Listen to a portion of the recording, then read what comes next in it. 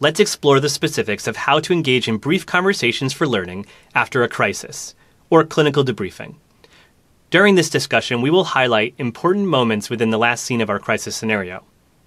Before we start, it is important to differentiate diffusing from debriefing. After any stressful event, there is an element of diffusing that people need to let off steam or vent about what happened. This is very different from a structured conversation that is designed for learning as a team what went well and what could have gone better. In a debrief that occurs immediately after an event, there is often a higher ratio of diffusing to debriefing than what may occur after participants have had more time to cool off. For this unit, we will be looking at a hot debrief, or one that occurs during or immediately after an event. Watch this clip and notice how Daniel takes an informal discussion of the events and converts that energy into a formal debriefing. While you watch, notice what Daniel says or does that might contribute to participants feeling safe to start debriefing. Hey, how'd it go? We think the patient had anaphylaxis. We had to give epi. Wow, from the blood? No, we think he was stung by a bee and that's why he fell. Remember the hand? Yeah. Teresa called it when she saw the tongue. Totally good catch. Hey, uh, why don't we have a quick debrief about the case? Can everybody take a minute before we go back to the unit? Sure. All right, I will set the timer for five minutes. It would be great to have anesthesia and surgery here too for this. Sure, but let's review together now. Uh, we can schedule a larger debrief at the interdisciplinary discussion later this month. This is a good case to review with a larger team. All right. If it's good with everybody as the documenter, I'll facilitate. And I'll just start by saying if anybody needs to cool off or take a minute outside, you can do so at this time. That's great. And remember, we have formal resources for any staff in need of more support after challenging clinical events. All right. As Dr. Boyd mentioned, we'll be formally discussing the details of the case later in the month. So let's just use this time now to compare our mental model, review what we did well as a team, and if the same patient comes in again in five minutes, is there anything we might do differently? Can we start with initial reactions or any feelings we want to get off our chests? During this short scene, we saw Daniel display a few behaviors to help establish the rules of engagement and contribute to creating a safe space for this conversation. He sets expectations about the time this will take, in this case, five minutes. He seeks permission to proceed in facilitating, saying, Can everyone take a minute? And looks for nods of affirmation. He acknowledges Hernan's desire for more inclusivity, and that this is just a quick review as a team, and that there will be a more formal cold debrief later on. And finally, he allows for more diffusing of reactions and offers space for people to leave if needed. Plus, he gives a reminder that formal resources exist for anybody experiencing more personal, traumatic reactions to the event. Now view this next scene where Daniel is mostly listening and encouraging all team members to contribute. He does so through short prompts for the team to consider what went well and what could have been done differently.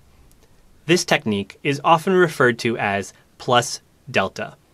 Plus, meaning what was positive about our performance, and delta, referring to what would we change if given the chance to do it again. What else did we do well as a team? I felt really supported by Dr. Boyd. I wasn't entirely confident with that airway. I'm glad we were able to get anesthesia there to help, and you made me feel comfortable saying that. And I think we did what was best for the patient. Well, I really appreciated you being honest about your comfort level. And you went with the plan to give Epi upstairs. As leader, you really listened to the team. What do we think we could have done better? Was there any systems issues that maybe we don't want to forget to pass on from today? Well, it would have been nice if the trauma room was restocked last night, or at least if we had been given a heads up about it. Yeah, good point. I will pass that on to nurse management. Also, I'm glad that trauma came to do the fast because we really needed another doctor in the room. Um, I'm stressed that the rest of the ED got shut down because we were working on this. Sometimes, during a hot debrief, it can be hard to separate the emotional reaction from a practical discussion of what could have been done better. Watch this clip and consider what emotions are Diane and Hernan experiencing currently. How does Daniel, as the facilitator, take this interaction and coax it towards a learning conversation? I'm frustrated we didn't treat for anaphylaxis sooner. I knew that the patient's hand had something to do with this. Well, we followed our algorithms and got the patient to OR where he belonged, so I think we did a good job. Diane, tell us more about how you felt. What do you think contributed to your not feeling hurt about the patient's hand? I mean, I guess I didn't know it was anaphylaxis or anything, but I kept saying, look at the hand, and I felt ignored. I wish I had pushed it a little bit more. Maybe if I had said it differently somehow. Actually, I could tell that you were concerned, Diane, and there's nothing you could have said that would have pulled my attention.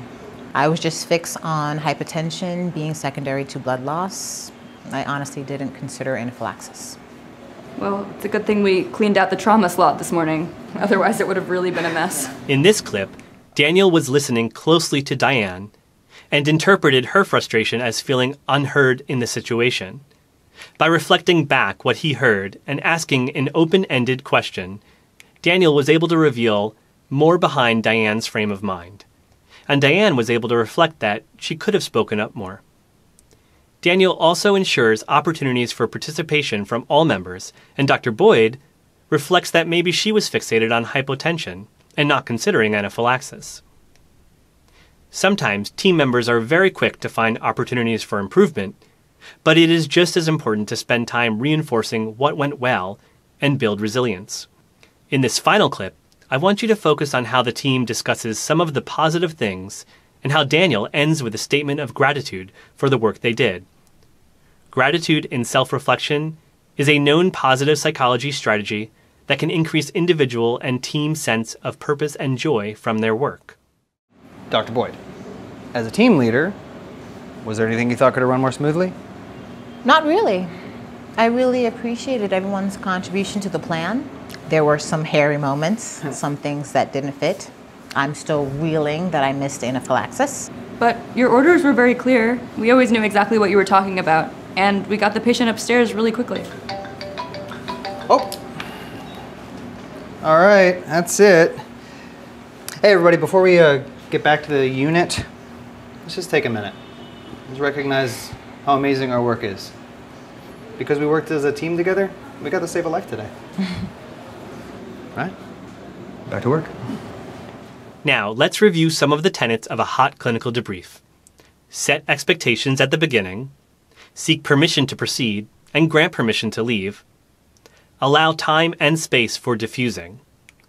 Employ a plus delta approach with a focus on systems, not individuals. Encourage participation from all voices in the room. And end on a good note to promote positive psychology through gratitude. Reflection is a part of the continuous cycle of improvement for individuals, teams, and systems. As a final review in this section, we discussed curiosity as a skill that must be practiced, the importance of both sharing and listening in team reflections, and some basics of how to facilitate a team reflection immediately after an event.